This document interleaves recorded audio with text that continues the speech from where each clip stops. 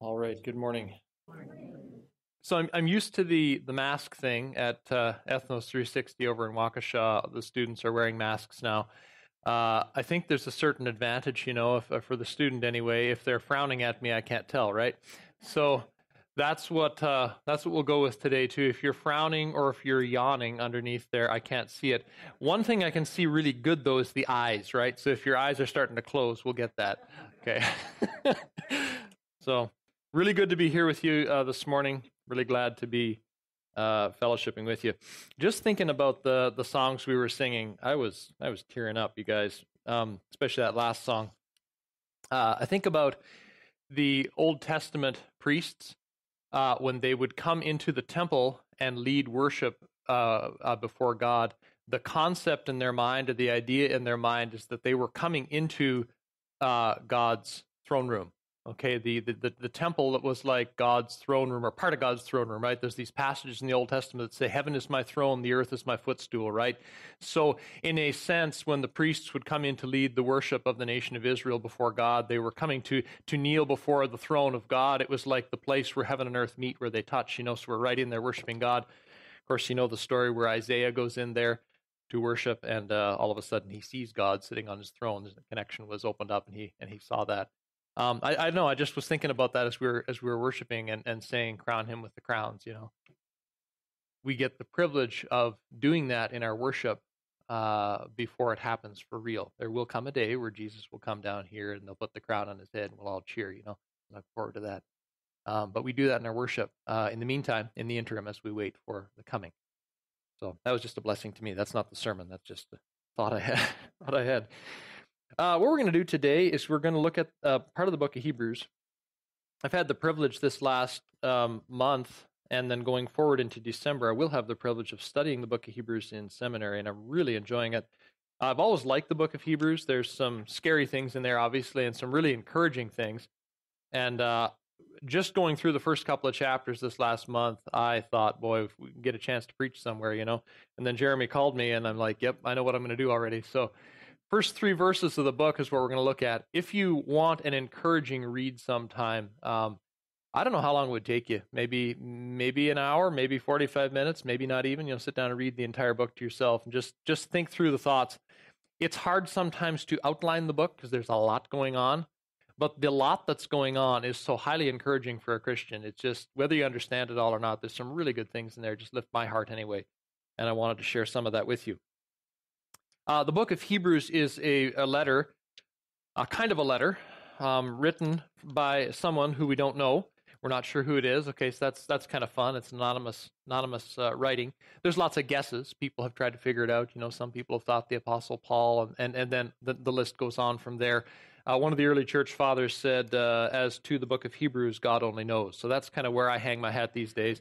God only knows. But, you know, we know it's inspired. We know it's part of God's word, and it definitely is an encouragement to the church. So that's, that's what we can know.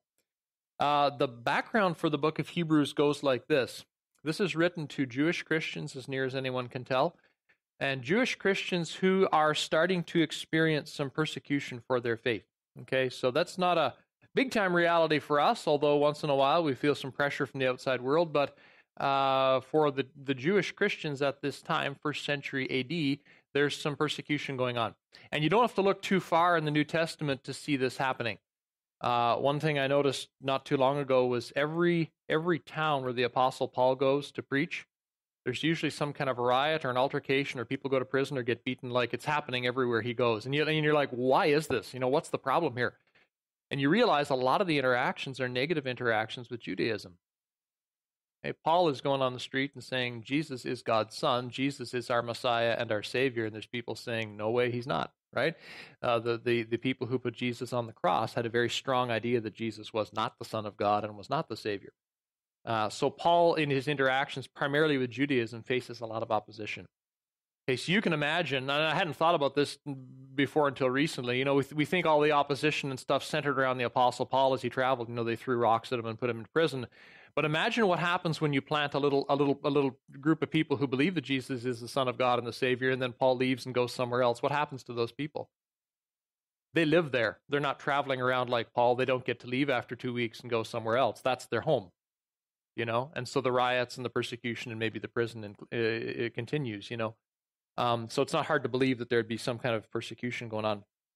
Now, in the book of Hebrews, uh, we don't have um, a situation where people are being killed for their faith, not yet. In fact, later in the book, uh, chapter 12, he says, You haven't resisted to the point of shedding your blood. That hasn't happened yet. But he does talk about people who've been put in prison, and he talks about people who've had their things taken away. Okay, so there's there's pressure and there's there's prison. There's the starting of something happening. Uh, and in all of the persecution that's going on, the pressure, there is a temptation to do something to alleviate the stress. Okay? When we're under stress, we're under pressure, we try to find a safe place to stand, right? Where I can have some sanity and feel good about what I'm doing. And so, the place that a lot of the Christians in this book are being faced uh, with, or the place that they're feeling like they need to go to, is to take a step back into Judaism. A lot of these people are Jewish culture people to begin with, right? They were born with that. And Jewish culture has its religion where they are, they're worshiping God through the temple system and all that kind of thing. When Jesus, the Son of God, comes as a Jewish man into the Jewish world and says, I'm the Son of God, I'm the, the hope of the nation of Israel that you've been looking for, the, the, the people who believed that took a, a step forward into something different right into a new family and what ended up being a multinational family that god's creating all, of, all over the world of people who will believe in his son Judaism got kind of left behind. Judaism's official position is Jesus is not God, right? Judaism at the time in the Roman Empire was an, an accepted religion. Among all the different pagan gods and things like that, there was a place for Judaism. It was ancient, it was respected. There was there was people there were people who believed that and pagans thought the Jews were a little odd, but there wasn't persecution of Jews going on, not at least at this time. Okay. So, for a Christian, a Jewish Christian, to kind of pull back into his roots, to pull back into his ethnic heritage a little bit and just say, Yeah, I'm Jewish, and leave it at that, and not name the name of Jesus and say, I'm with him, is a temptation for them. And whoever wrote the book of Hebrews is saying, Don't do that. Jesus has come. Jesus is God's man. Jesus is the way. Don't retreat from that. It's going to mean tough times, right? But we have to walk through those things in order to get where God wants to take us, in order for us to grow and mature and uh, pulling back from Jesus is just not an option. Okay. Now, the the writer of Hebrews could write them and say, you know, how dare you turn away from God's Son? Don't do it. The end. But he doesn't do that. He writes a 13 chapter book, which in essence, it's not a normal letter. It's kind of more like a sermon on paper. You ever read a sermon before? You know, back in the old days, these guys would write their sermons up. This is like a written sermon. It flows like a sermon. And the guy is quoting scripture as he goes, and he's telling stories, and he's putting this thing together what he eventually gives us is a beautiful picture of the Son of God who loved us and bought us from our sins in his own blood and he and he and he exalts Jesus to a level but you get to the end of the book your head's just swimming with praise for Jesus and you're like why would I ever walk away from this? You know that's the point. And he leaves some warnings in there as well. He's like boy if you back up that's a that, you know that's dangerous with God right? Because you're going to deny the son now like let's not do that. So there is warning there is negative talk but there's so much glorious talk too about Jesus uh, that just fills your heart with love for him and what he did. Some of our most favorite quotes as Christians from the New Testament about what Jesus did, you know, like the sacrifice for our sins, you know, not with the blood of bulls and goats, but by his own blood. That language comes out of this book. Okay. So I want to I want to read three verses this morning, and um, and then we're going to to just look through the wording here a little bit. So we'll start at verse one. Um, and I'm reading from the ESV. If you wanted to to know uh, why your Bible is different than mine or why it's the same. we as Christians have so many Bibles here in our country, don't we? Some people are waiting for their first turn. All right, verse 1. Long ago, at many times and in many ways, God spoke to our fathers by the prophets. But in these last days, he has spoken to us by his Son, whom he appointed the heir of all things, through whom also he created the world. He is the radiance of the glory of God and the exact imprint of his nature, and he upholds the universe by the word of his power. After making purification for sins, he sat down at the right hand of the majesty on high. Okay, now the reason I didn't go forward into verse 4 is it starts getting to the angels, so I thought I'd leave that off just because it, there's a lot more to get into there. I think verses 1 through 3 has plenty of material for us to chat about this morning, so we'll do that. Uh, the writer says that long ago, at many times and in many ways, God spoke to our fathers by the prophets. God spoke. we can be so thankful that we have a God who has not been silent. I often tell my students at the Bible school, you know, God didn't need to tell us anything. Like God didn't need to to give us a word, uh, an inscripturated word, to speak by His Spirit, to speak by anyone. He could have created the world, let it spin off into the cosmos, and never touch us again. You know, uh, humans sin and wreck the place. God didn't need to say anything. God didn't need to react. You know, the fact that God was intent on speaking, and He says that many times and in many ways, like it wasn't just a one-off either. It was a lot. God was doing a lot of talking you know, you read through the Old Testament story that we got a whole Old Testament, three quarters of our Bible full, pages and pages and pages of messages from God. That's incredible. Okay, that kind of material coming coming from a divine being for, for people who he wants to instruct and love on and encourage. That's that's big stuff. Through the prophets. Of course, we know who the prophets are. Uh, the prophets of, of Israel. God spoke to them as a nation, and they recorded what he gave them. Uh, he says, God spoke to our fathers. The word fathers there is a word that's used by the Jewish people to point to the earlier generations. Okay, so the Jewish fathers, the Jewish predecessors, the ancestors, whatever. So through, through our history, God has been speaking to us, to our people primarily. Uh, Jewish nation, of course, as we know, was set up to be a light or a beacon to the, to the world, right? The messages were given to them, but not just for them, for everyone else to see God as well and get to know Him. So long ago, at many times and in many ways, God spoke. God was speaking to our fathers by the prophets. But in these last days, He has spoken to us by His Son. Let's stop there. In these last days, it's an interesting way that He calls the time in which He lives. You know, we look at our, our world right now, and some of us begin to question, I wonder if we're living in the last days. Okay? The author of Hebrews says, in these last days. Um, this is a, a, a point that's actually made in the New Testament a number of times. Uh, near as I can tell, the perspective of the early church is that with the coming of Jesus, God began his end time plan. The days of fulfillment are starting to happen. It's not everything. Everything hasn't happened, right? The kingdom hasn't arrived yet. Jesus hasn't sat on the throne. But with the entrance of the Son of Man into the world, the clock starts ticking. We're in the end days type of thing. It's going to wrap up. Now, we look at history right now. We say, my goodness, 2,000 years, that's an awful long end time plan there. But that's the way the New, New Testament church looked at it. Okay, we got the old times and then we have these last days. In these last days, He, God, has spoken to us by His Son. It's kind of interesting. In the original language, it doesn't say His. I was doing some looking this morning, and it doesn't say the, the Son or His Son. We've translated that because it rolls better in English. It says, He has spoken unto us by Son. now, the, the, the cool thing is, is we know who that is, right? So a lot of your Bible translations will insert a the in there. He's spoken unto us by the Son uh, capital S, or by his son, which makes a lot of sense. Jesus is the Son of God. He is God's Son. Um, the word, the the word or name "son" is kind of an important uh, word from the Old Testament. The the writer of Hebrews is playing off of Old Testament stuff all the time because for the Hebrew Jewish Christians, the Old Testament is their Bible at this point, right? New Testament is in the process of being written as we read this.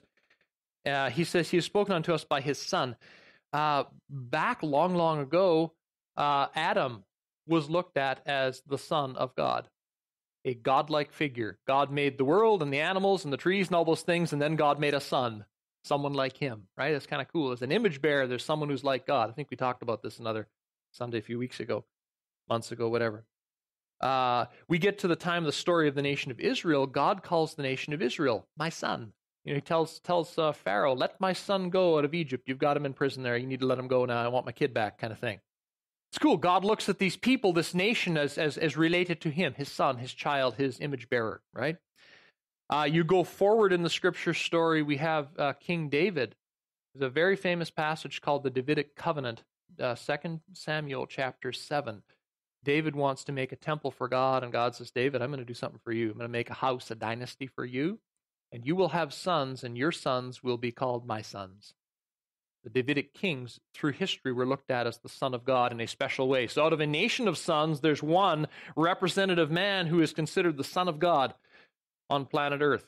Okay? Not Son of God, capital S, like divine, like deity, but there's a human there who is like the God on earth. He's, he, he represents uh, uh, humanity to God and God to humanity in a sense. The kings were standing in like almost kind of like a priest role, but not really the king. Okay, he would stand in for God. Uh, so King David was like that. Solomon were like that. Problem is, of course, you go through history and you have these men who have the title, the Son of God, and they begin to walk away from God, don't they? Got some kings that did some really nasty stuff, you know. God had to judge them for it. You get into uh, Psalm 2. Psalm 2, I can read a, a, verse or two of this one to us. It's a very famous passage, actually, that's, that's uh, quoted a number of times in the book of Hebrews uh, that talks about the Son of God. Talks about the nations being in, in turmoil and fighting against God and his, his anointed one. Uh, God just laughs at it because it's not a big deal to him. And then verse 7, Psalm 2, verse 7. Psalmist says, I will tell of the decree. The Lord said to me, You are my son. Today I have begotten you. Ask me, and I will make the nations your heritage and the ends of the earth your possession. Okay, now there's a big prophecy in here going on about the Lord Jesus.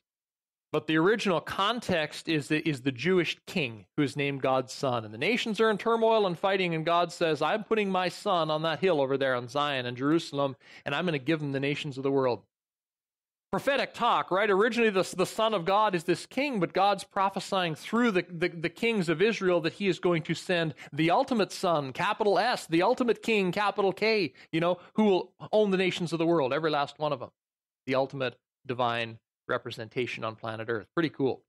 So we go forward in Scripture. We have Jesus coming to the earth. Jesus is born in humble circumstances, born in a manger, you know, raised as a carpenter. Nobody special, we didn't regard him as anything. And then he goes into the water at his baptism, and what happens? A voice speaks from heaven and says, That one right there, that is my son. What is God doing? He's playing off all this son language from the Old Testament, right? Jesus goes up on the mountain with his three closest disciples and, the, and, and, and, and turns bright and shining like he was at, uh, in heaven, and God says, This is my son. Listen to him, you know. Jesus is the Son of God. You go back to Hebrews chapter 1 there. It says, in the last days, in these last days, He, God, has spoken to us by His Son. The idea here is that God, who spoke through prophets in the Old Testament, has left a final message on planet Earth through a person. God's final act of revelation was a person. Uh, the book of John actually calls him the Word, right? It says, the, In the beginning was the Word, and the Word was with God, and the Word was God. And then we have John 1 14. It says, The Word what? Became flesh and dwelt among us, and we saw his glory, glory like the Father, full of grace and truth. Remember that?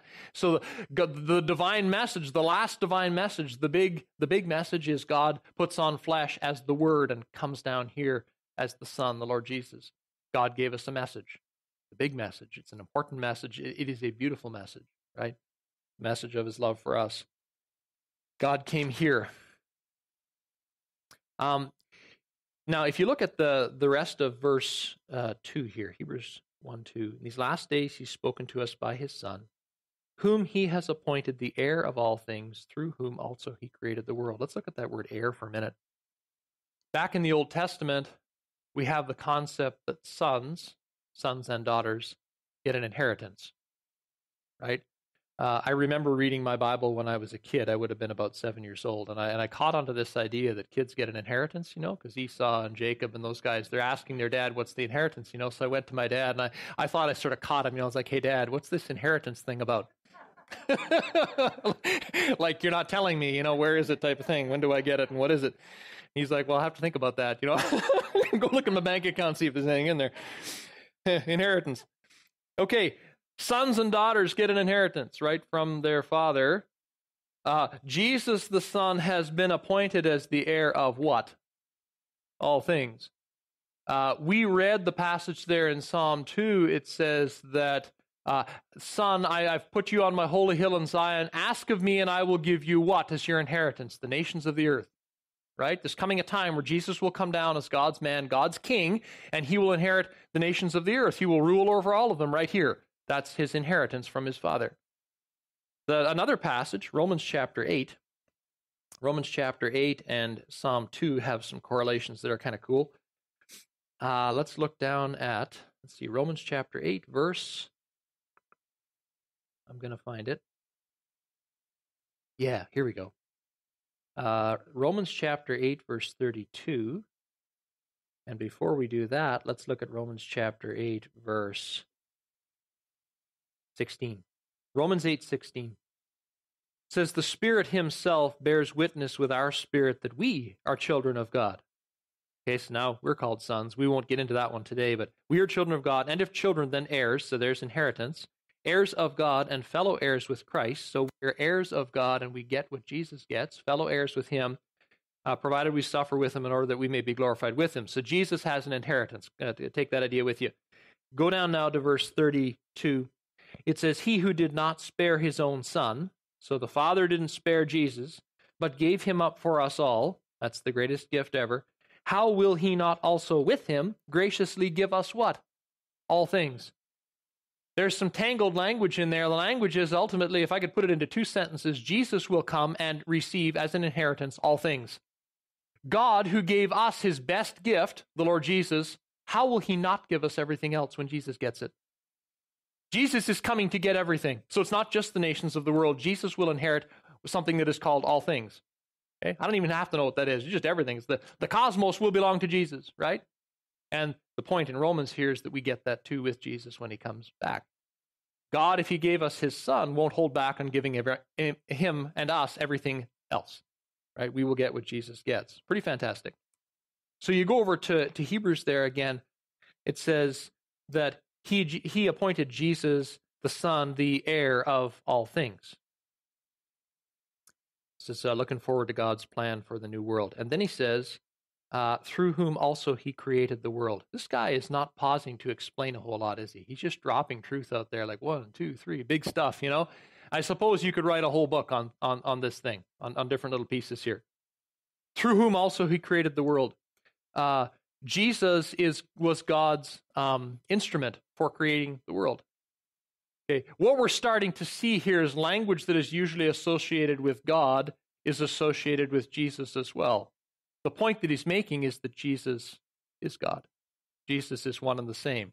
John 1 1, in the beginning was the Word, and the Word was with God, and the Word was God. All things were made by him.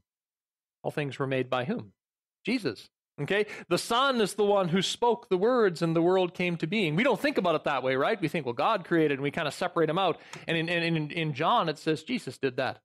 Uh, Hebrews says Jesus did that. Jesus is the one who created. Jesus is the creator. Uh, we we use, like to uh, tell our our folks in the churches we're planting overseas that when you make something, then it belongs to you you know, tribal culture, whatever. You can talk about, hey, this house that you made, this bow and arrow that you made, this boat that you made, you made it. So who's the owner? Well, I am. I made it.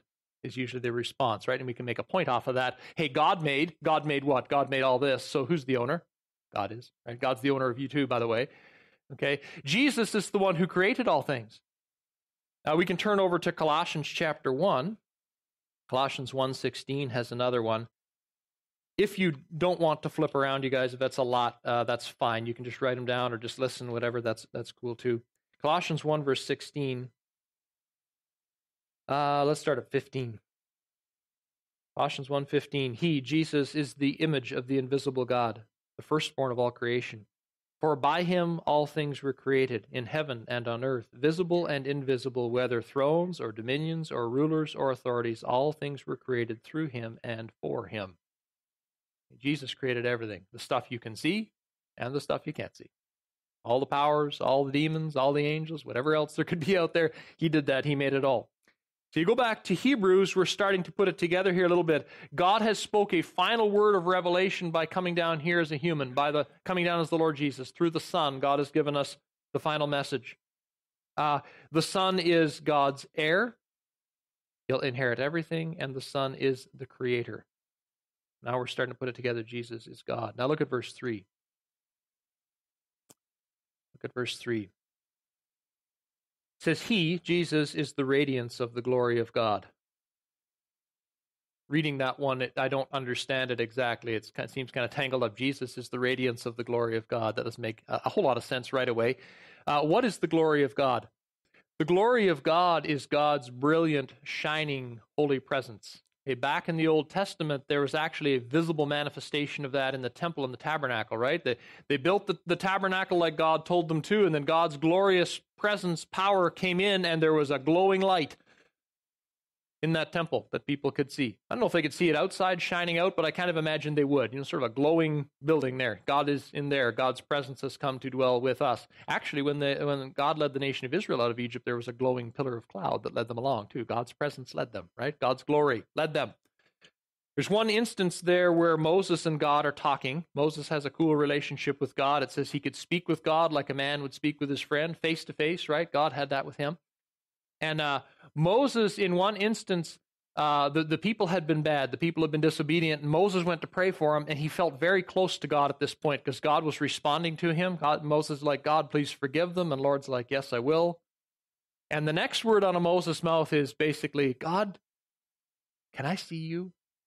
Remember that one? It's like in Deuteronomy or Numbers somewhere. Like he, we've just won this big victory with God. You know, I asked him for a request and he gave it. So God, can I like, can I look at you? Like, never seen you yet? You know, I love God's response.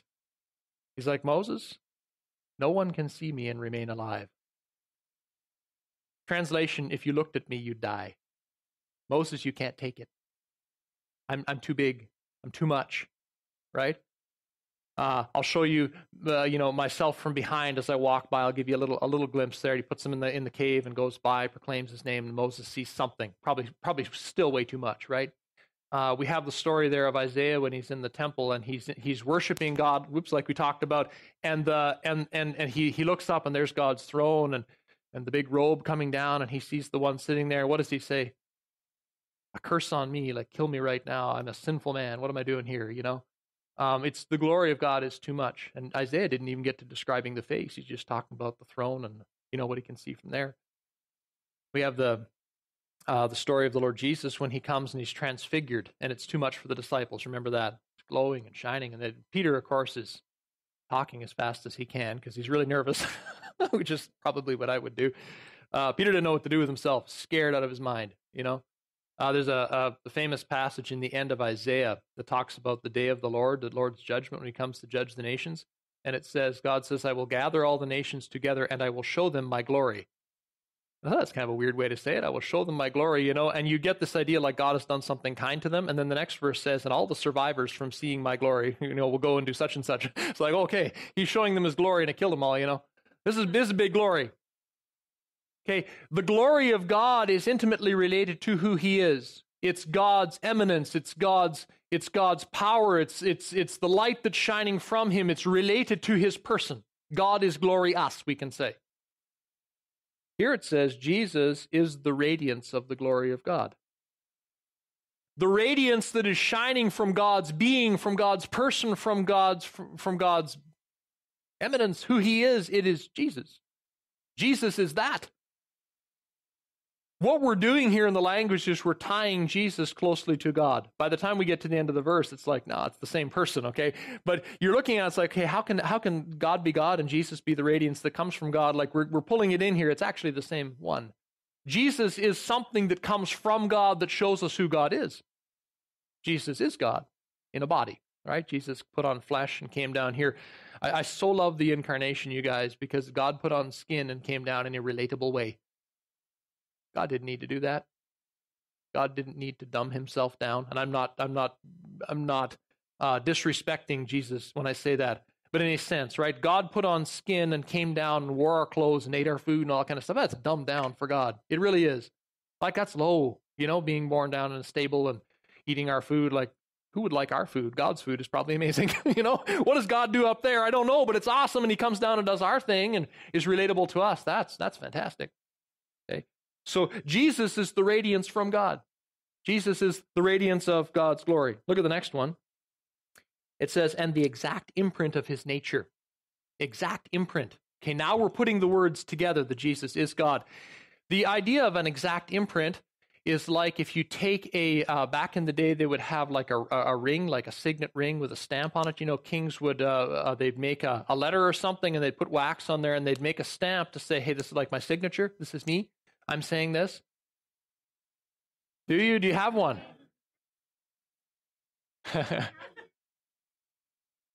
yeah. Yep. Are you talking about the king who put the put the stamp on the on the um the den so Daniel couldn't get out? Oh yes, that no one could pray to anyone. I like that. That's right. Th- those things are all through the Bible. There's guys using those stamps, right? They put a, a, seal on the tomb of Jesus too to say the king says you can't come out, and Jesus did anyway. I like it. So, so we have this print, right? We have this print. The print is like the signature. It's like this is me. This is my identity. Jesus is the exact imprint of the nature of God.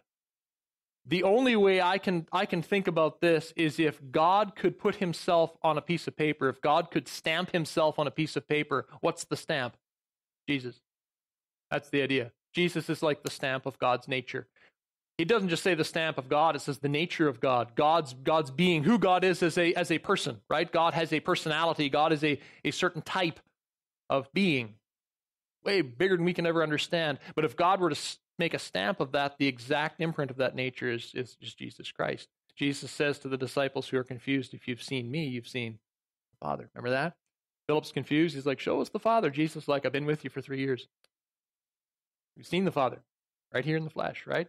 Okay, we get all over the disciples like, oh, those guys are so dull, you know, but I, I get it, right? They, they're used to the monotheistic idea. They're used to the idea of there is one God and we never see him. He is a spirit. That's all there is, type of thing. And it's true, there is one God, but then when God puts skin on and comes down, it's a, it's a different revelation, isn't it?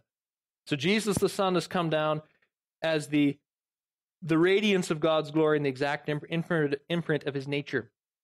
It says he upholds the universe by the power of his word or by the word of his power. Uh, same kind of an idea there.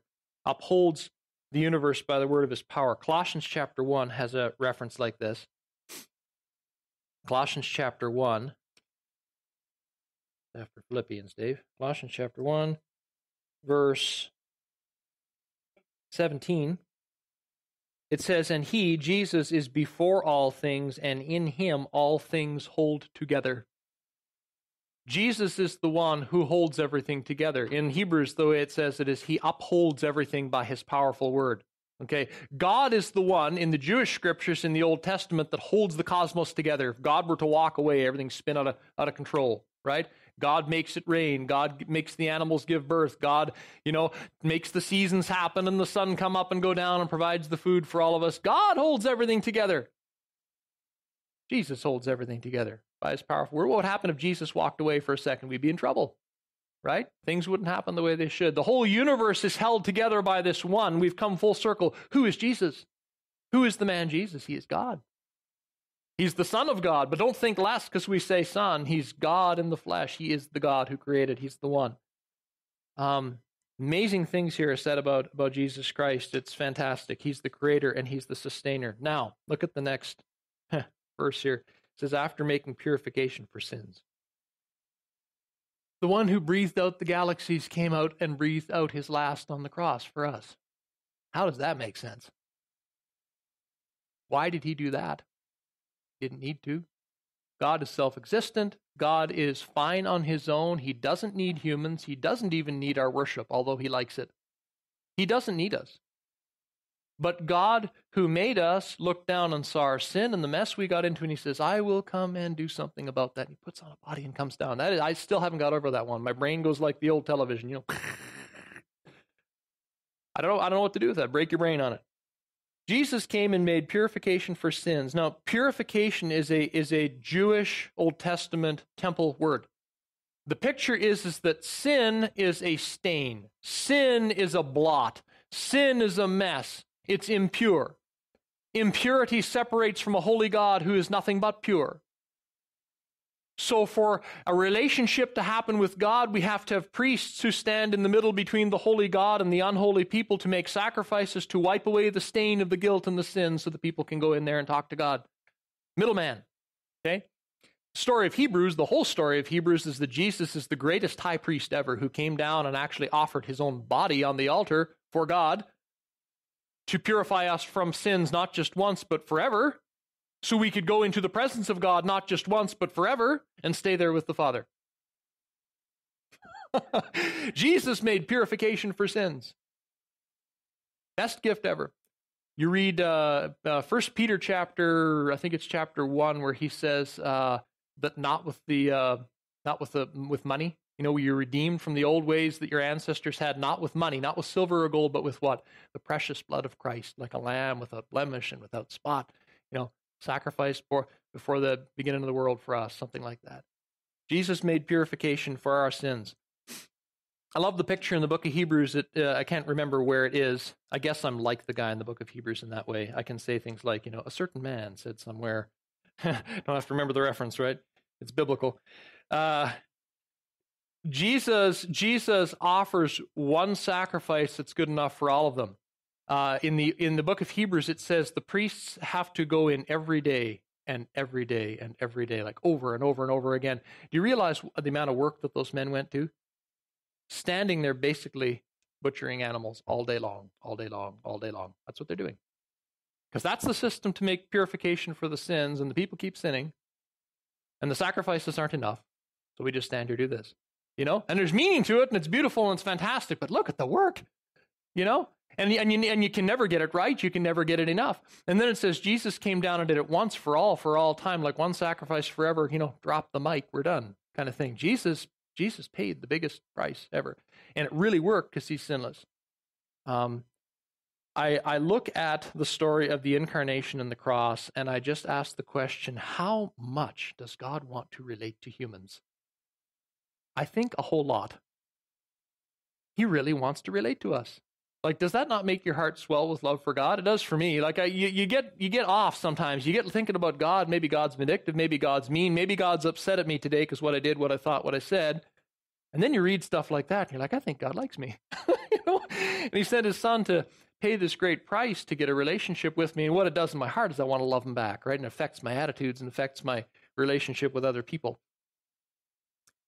Jesus made purification for sins. Oh, one more thing. After making purification for sins, he sat down on the right hand of the majesty on high. Uh, he makes the point later in the book of Hebrews that the priests have to stand all day chopping meat to pay for the sins. They stand, they keep standing because the work isn't finished. And he makes the point that Jesus did the one sacrifice and then he went and sat down because he's done. I really like that. Okay, now we're finished. Price has been paid. Christ offered once and sat down. Where did Christ sit? It says at the right hand of the majesty on high. Okay, now we're getting back into Jesus' God language again.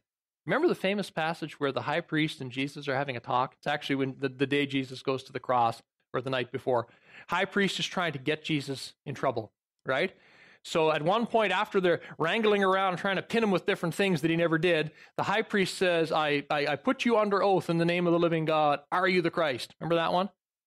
I love Jesus' response, just real quiet. He's like, Yeah, you got that right. You said it right.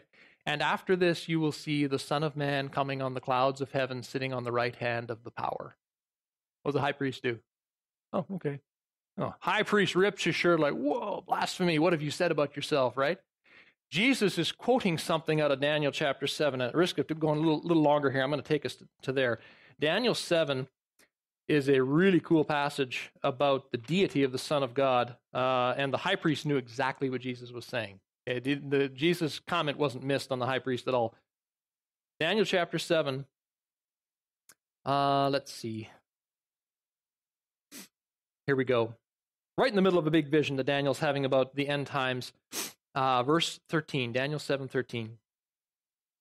I saw in the night visions, and behold, with the clouds of heaven there came one like a son of man. Uh, Jesus is constantly calling himself the Son of Man, which means the human, basically. Okay, he, he calls himself that, but Jesus quotes this passage. In fact, the New Testament writers, if you if you count up all the times Jesus calls himself Son of Man, Daniel seven thirteen becomes the most quoted passage in the mouth of Jesus in the entire Old Testament. Okay, so there came one like a Son of Man, Jesus, right? He came to the Ancient of Days, there's the Father, and was presented before him, and to him was given dominion and glory and a kingdom that all nations, peoples, and languages should serve him. His dominion is an everlasting dominion which shall not pass away, and his kingdom one that shall not be destroyed. I love it. Jesus is the one who comes before the Father, and the Father says, Son of mine, here's the nations of the world. I'll give them to you. Your present, your inheritance, right? Jesus is the Son. So when he stands before the high priest there, and the high priest says, Who are you? Jesus says, I'm the Son. Uh, furthermore, you will see me coming on the clouds of heaven. That's an Old Testament thing, too. In the Old Testament, there's only one being who rides on the clouds. You know who it is? God. God rides on the clouds. In Daniel, there's a surprise. There's a human riding in on the clouds. What? What's he doing there? You know? Cloud rider. That's only God. No, it's Jesus. Jesus. God the Son rides on the clouds and is given the inheritance of the nations of the earth. So, after making purification for sins, Jesus sat down at the right hand of the majesty on high. That is a place that is not reserved for people. That's a place special. So, question what is Jesus doing at the right hand of the Father? Romans chapter 8 has one thing anyway. Romans chapter 8. I wonder sometimes, you know, why Jesus didn't just die on the cross, pay, and then and then stay here and put the crown on. That would be great. Start the kingdom right now, right? We're waiting for it anyway. Romans chapter 8, though, verse uh oh boy. If you know where I'm going, shout out the verse reference. It's in 8. There's a problem with not knowing the references once in a while. here, here we go. Uh, verse 34, Romans 8 34. Who is to condemn? Who can condemn us, right? Who can bring any charge that sticks is the idea. Christ Jesus is the one who died. More than that, who was raised, who is at where? The right hand of God, who is interceding for us. What is Jesus doing beside the Father's right hand there? Praying for you, praying for me. You guys, not only is the incarnation cool because Jesus came down with skin on like like us, the incarnation is cool because Jesus, the incarnate man, the incarnate Son of God, is up there with skin on beside the Father, talking about all the other humans. In the presence of God, there is a man. I've got a man in my corner, a man on my team who's got my back, who's praying for me. And when Satan comes and tempts, Jesus is there praying for guess who? Me, because I need it. When Satan comes and brings a list of dirty laundry that Dave Field committed this week. Jesus can show his hands and Satan's got to go away. Jesus is there in my corner. He's interceding. He's on my team the entire time. Beautiful. First John talks about that. Jesus is our representative because we need one. He's there praying for us. And, and the scripture says other places that Jesus is there waiting to come back and get his inheritance. He's waiting till his enemies go under his feet. Then he'll come back and take control that God gives him. So, application thoughts today. I know we've talked about a lot of different things. Um, I hope you've been encouraged. I, I, I, thought, you know, this isn't really a sermon where we have a, a list of things to do after the sermon, uh, but there are some encouraging thoughts for our heart that I think will will will spread out into application if we think about them and and, and mull on them some. Uh, application number one: Jesus is God. Jesus is it. Uh, for the readers of the book who are tempted to leave Jesus and go to something else, now do you see why that's a foolish idea? I mean, I do, right? It's like in my head are the words that Peter said to Jesus one time. A bunch of people are leaving Jesus because his teaching is too crazy for them, whatever, demanding too much. And Jesus, and Jesus says to Peter, "You guys going to go away too?" Peter says, "Where are we going to go? You're the ones with the, you're the one with the words of eternal life." You know, that's what I think about Jesus right now after reading this passage. Like, where in the world would I go else except to you? You're the one. I'm staying with you. And the longer I go, you guys, in life, the more the more resolved I, I am on that. You know, it's like there's there's no other place. I'm staying with him. And if if it gets hard, I'm still staying with him because I don't know where else I can go. It's going to be anywhere near as good, near as safe. Another one, uh, another application is uh, thankfulness. Um, thankfulness for redemption. Jesus came down and and cleansed us from our sins in His own blood. I just am thankful every day for that. And then the other one is thankfulness for his representation before the Father that he continues to do right now. I'm thankful for that. I don't know what would happen to us if Jesus wasn't up there representing us right now. But he is, and things work, and I'm glad. Uh, somebody famously said one time, uh, "The Father is how does it how does it say it? The Father is is happy with me as long as the Son is there for me." You know, Jesus is before the Father, and the Father really likes his Son, you guys, and I'm with Jesus, so the Father likes me too. That's kind of the image that, that, I was trying to put across there. Hey, what would happen if Jesus could be like an Old Testament priest and get old and die? And we have to find another one. You know, then we're in trouble all over again until they find the right guy to rep me before the Father. That's not the case. Jesus is the ever living priest who will never die, who is always likable to God, you know? And as long as God likes Jesus, God likes me. That's that's important. So thankfulness, right? And then the last one, uh, um, is is looking forward to the coming. We as Christians have something that isn't talked about a whole lot, uh, but we need to talk about it more in church and at, in our homes. Uh, is the idea of hope. Um, the hope of the church is the coming of Jesus to right things. And we don't think about that much, right? We think about Jesus died for my sins, and that's very important. But the second half of the story is Jesus will come back to make everything's new, everything new. Uh, we are living in a world that is getting old. We're living in a world that is winding down. And if you read the rest of the story in the Bible, the world is going to wear out. War and disease and all those things. I mean, it's it's bad now. It's just going to get worse. It's going to wear itself right out, and then the Savior will step back in and says, "Okay, restart. We're gonna we're gonna kick this thing off better way it should be, and He'll bring in the new world." And we look forward to that because it's guaranteed for those of us who are with the Son of God. He'll come get his inheritance and we will get ours, right? So there's encouragement for us in, in tough times. So that's what, uh, that's what we have today. Why don't we go ahead and pray and thank the Lord? Father in heaven, uh, our hearts are just filled with love for you, worship for you. You have done so many kind things to us. Lord, your word is, is full of encouraging um, thoughts for us to think on in our day. And Lord, I pray for my brothers and sisters here with me today that as life is difficult, we all came here with something this morning, Lord, baggage or background or struggles of different kinds. We ask that you would help us to lift our eyes from where we are and look on Jesus, the Son of God who loved us, gave himself for us, and is coming again to take us to be with him. Thank you for him, and we pray these things in his name. Amen. Amen. Let's stand and continue our worship together.